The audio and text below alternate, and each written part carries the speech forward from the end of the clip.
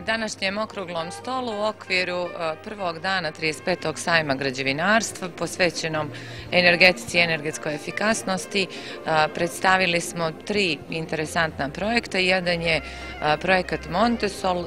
Novina koju prezentujemo na ovom sajmu je proširenje projekta Montesol, to jeste beskomatnih kredita za ugradnju solarnih sistema na pravna lici sektora turizma.